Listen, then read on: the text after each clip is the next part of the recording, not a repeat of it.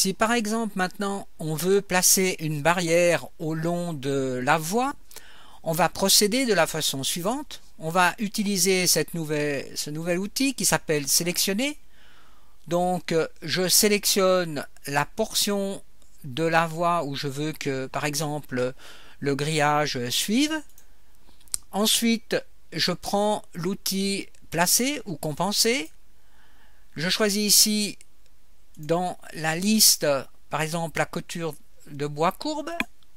Je clique sur cette flèche pour voir apparaître donc cette clôture, par exemple, de chaque côté de la voie. Je crée par exemple une voie courbe. Je pratique donc de la même façon. Outils sélectionnés.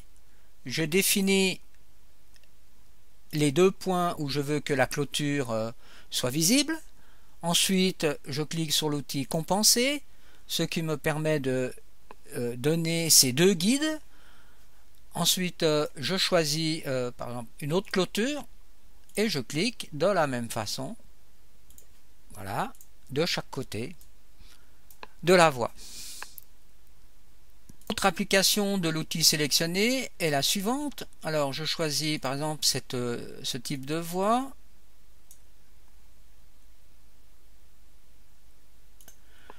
Ensuite, euh, outil sélectionné, je définis les deux points donc le long de la ligne.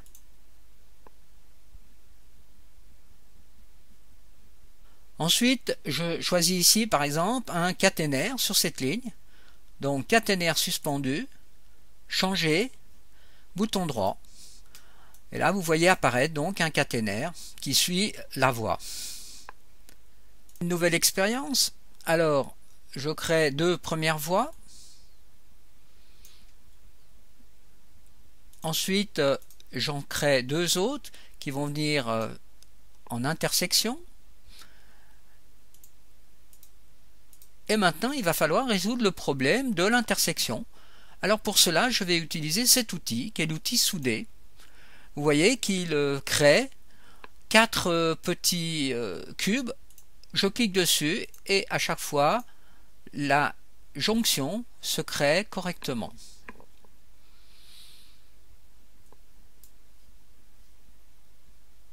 Regardons un nouvel outil qui s'appelle Pente cet outil va nous permettre de modifier la pente d'un objet linéaire.